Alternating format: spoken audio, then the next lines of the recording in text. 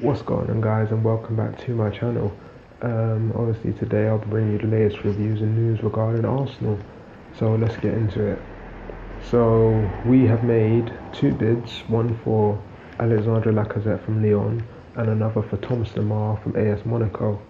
And both of those bids have since been rejected. And you know, it's looking like step time again, just like we did with Higuain you know, it was all done, oh, it's getting close, and then we hadn't even made a bid, and then, you know, you know how that story ended. But let me think positive for a change. Uh, let me hope that, you know, it's just how these transfers go, you know, it takes a while, you gotta negotiate a fee, all that stuff, and, you know, and it will eventually get over the line. But in regards to Thomas Lemar, apparently it's not even an issue with money. Apparently it's just Leon, um, sorry, not Lyon, Monaco don't want to sell him, um, and they don't want to lose him and Mbappe because also like they're they're like gems, and you know they don't want to like become like Europe Southampton, if you will. But not just on players that we're looking to sign. Um, a player who I think that we should be looking to sign is Piotr Zielinski from Napoli. Apologies if I'm not pronouncing that correctly. Um, when I see him play, he looks like you know the dictator. He dictates the tempo of the game. You know, he controls everything. You know, he's he like he can view the field. You know, he's ambidextrous. He can shoot with both both feet, pass with both feet. You know, he can dribble. He can he has skills in his locker. He can pass. He's got vision.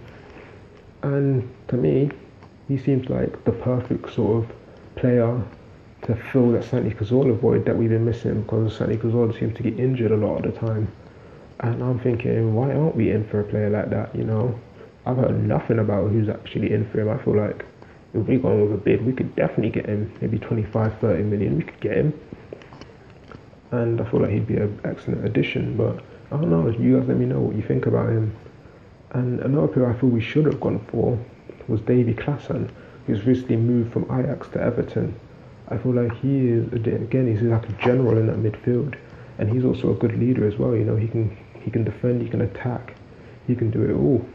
And I feel Everton, they've got themselves a bargain, they've got themselves a little gem there. And I feel they might be a dark horse in next season, we'll have to watch out for them. But back on Arsenal, also another player I feel that we should go for is Aymeric Laporte. I feel like, I'm not sure if I'm pronouncing that, that right either, but I hope hopefully I am.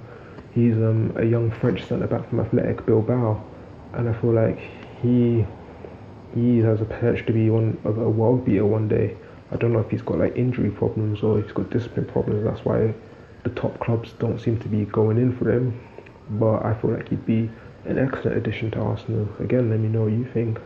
Um, it's that he's not been in the French squad. I'm not sure if that's injury related. I have to check on that. But yeah, thank you for watching this video. Um, do leave your suggestions in the comments below. And do make sure to follow me on Twitter and Instagram. They'll be in the description. But thank you for watching this video. I'll see you next time in a few days. Okay, peace.